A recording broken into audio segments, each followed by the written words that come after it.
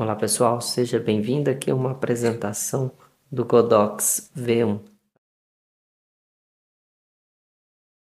Então vamos ligar o flash aqui, o dial aqui no zoom, ele já vai lá mexer. Então ó, isso aqui é importantíssimo, pois altera aí o número guia e a capacidade de alcance ou recuo da luz. Então, vamos lá. Aqui está no alto. Ele vai reconhecer a milimetragem da lente e vai fazer o ajuste aqui ó, da distância da lâmpada. Clicando aqui para o lado, no mais e no menos, você pode habilitar aí compensação de exposição. Caso se o flash fez a fotometria, você vai ajustar que você quer mais 3 0.3 aí de carga. Então, ele vai jogar um pouquinho a mais além do que foi calculado. E aí, consequentemente, modo A, modo manual. Aqui, essa luzinha aqui que eu falei aí no começo do vídeo, é a luz modal. Você apertando ela, dando um OK, ele vai ligar essa luz aqui. Vendo aqui? Essa luz aqui muitas pessoas acabam chamando como luz de auxílio, mas é uma luz de modelagem. Serve para você saber aonde a sua luz vai bater e você ter um dimensionamento aí da direção do seu flash. É muito bacana esse recurso. Para quem faz ensaios, usa em estúdio, é muito legal. E aí tem muita gente aí usando a noite embalada, ligando ela como um auxílio de foco noturno aí rodando o dial ele aumenta, então dá um OK, zerou, saiu do menu. Bom, esse é o modo TTL, você apertando a chave aqui na lateral, ele vai alternar entre os modos de funções do flash. Um clique, entra nessa aba, que é a aba que já temos um vídeo aí que mostra como controlar outros flashes fora da câmera por ele. Então aqui, esse é o painel RX, por ele, o Flash entra no modo Slave. Então você vai conseguir comandá-lo por um Flash Master ou, no caso aí, quem usa Godox pelo X Pro 1 ou X Pro 2 e aí você consegue usar ele fora da câmera, sendo comandado por outro flash ou pelo rádio flash. Então aqui ó, nós temos a opção de grupo, que você pode pôr ele no grupo que chega de A a E você tem a opção de canal, que você pode mudar o canal, que é interessante, porque muitas das vezes todos os fotógrafos aí trabalham no mesmo canal. Então aqui você consegue mudar o canal. Se você for estar num espaço compartilhado, por exemplo, você sabe que seus amigos estão tá cá, um trabalhando no canal 1, 2, 3, 4, você pode pegar aqui e pôr um canal diferente para que não haja interferência de disparo dos outros amigos aí de trabalho, se for um ambiente compartilhado. Então, esse é o painel de RX, que ele se torna aí um receptor e vai trabalhar no modo slave. O botão de zoom vai funcionar aqui novamente. Você pode deixar no automático ou no manual e escolher. Então aqui nessa aba repeat, você pode pôr o flash para fazer disparos contínuos. Um exemplo, você fez um disparo e quer que ele faça três. Ele vai disparar três vezes. E aqui a frequência de hertz aí que ele vai trabalhar. Então aqui ele está no modo slave e qualquer função que você alterar aqui, a tela permanecendo laranja, ele está no modo slave. Apertou aqui o botãozinho para mudar entre os painéis de função. Chegamos aqui modo manual. É, você está vendo que tem a régua? Quando está em cima da câmera, ele mostra a distância. Pode apertar aqui para alterar o zoom. Você pode usar o flash no manual, você controlando a carga, mas você pode deixar o flash decidir a distância da lâmpada no modo automático, que daí ele vai acompanhar a sua lente, se você usa uma lente tipo zoom, por exemplo. Aí aqui também temos o botão de TCM, o que, que é esse TCM aqui. Você aperta ele, você vai ver que ele já muda para o modo TTL.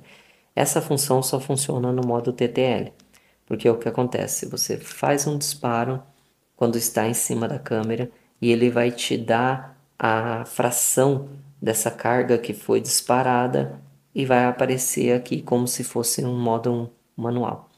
E aí aqui nós temos o botão de sync, que é para o high sync speed, se você vai trabalhar em, em um sincronismo de alta velocidade do obturador. E aqui dá para você deixar ele como slave 1. Eu posso pegar um flash, disparar a luz do outro flash vai fazer ele disparar por fotocélula. Às vezes você não tem um rádio, mas tem um flash e tem o Godox aí, você quer deixar ele como slave. Então é só você vir aqui, apertou slave 1, primeiro disparo, ele sempre vai disparar no comando do primeiro disparo. Segundo disparo, você faz uma foto, a hora que você fizer a segunda foto, ele vai disparar. É bem bacana.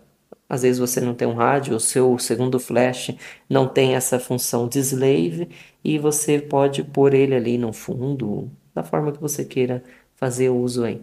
Então aqui o modo manual, você clica no mais, ele vai entrar para alternar aqui as cargas. Rodando o dial, ele vai por décimos, tá vendo? E você apertando aqui, ó, o modo Mode ou Zoom, selecionado lá a carga, ele vai pular aí por pontos. 1 um, e vai até 1 barra 256. Mais uma vez no mode, a gente chega no modo de repetição, modo TTL, modo manual. Então aqui esse é o painelzinho e as funções que tem deles aí nesse painel frontal. Aqui já tem um vídeo aí explicando, esse é o painel onde o V1 vai funcionar como rádio. Então ele é o master aqui no M, ele vai estar tá controlando outros flashes. Aí aqui você pode controlar cargas separadas, ter grupo de A, C, e eu vou mostrar depois como que dá para fazer para aumentar. A Godox tem uma possibilidade que nós conseguimos até mesmo aumentar os grupos aqui. Então, as mesmas coisas. Você pode usar o modo manual, apertando o mode ele vai intercalando. Modo manual e o TTL e você rodando, você pode acrescentar pontos aí. Então, essas são as funções deles aqui nesse painel. A você vai alternar tudo que for do A. Observe que quando aparece, aperta o A, aqui aparece a mode. Então, se você permanecer clicando, você desligou, você está no TTL, você está no manual. B, mesma coisa. Desligou, TTL, manual. A, desligou. M, que ele é o master, desligou. É bem bacana. Aí agora, saindo desse menu, vamos entrar no menu principal dele aqui, que são os menus de configuração. Você pode deixar ele para mostrar a distância por metros ou feet, que aqui é em inglês, é em pés, você pode, aqui que tá, pessoal. Aí o pessoal às vezes fala que a luz modal aqui, deixa eu deixar ele aqui para mostrar. Às vezes o pessoal fala que essa luz aqui é a luz de auxílio de foco, né? Só que isso aqui é uma luz de modelagem. Mais uma vez eu falo isso porque é interessante para vocês poderem ter esse discernimento. Então, aqui no menu, você pode ativar o AF, que quando o flash estiver em cima da câmera, ele vai ligar aqui o laserzinho de auxílio de foco. Algumas pessoas gostam, outras não, aí fica a seu critério. Pode ligar ou desligar. Eu não utilizo. Aqui standby, para o flash quando não estiver em uso e economizar a bateria e ele vai desligar o painel. Esse aqui é interessante que é o RX Standby. Então aqui você pode configurar quanto tempo ele vai ficar sendo aí o seu receptor, tá bom? Scan. Essa função é muito legal, pois o Godox V1 fará uma varredura no ambiente onde você estiver, já que mais aparelhos hoje em dia utilizam o sinal de 2.4 GHz. Com isso, ele lhe dará algumas opções de qual o melhor canal para você estar trabalhando. Dentre as opções que aparecer, é só você selecionar um canal e configurar novamente o flash.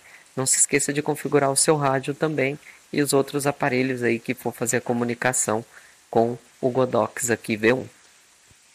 É bacana para quando você está num espaço compartilhado, além de você alterar aqui o grupo que você vai trabalhar para não correr risco de outras pessoas dispararem o seu flash, você pode também configurar uma ID que aí vai um número bem maior aí para ser mais um ponto de segurança para evitar com que todos aí trabalhem na mesma no mesmo canal.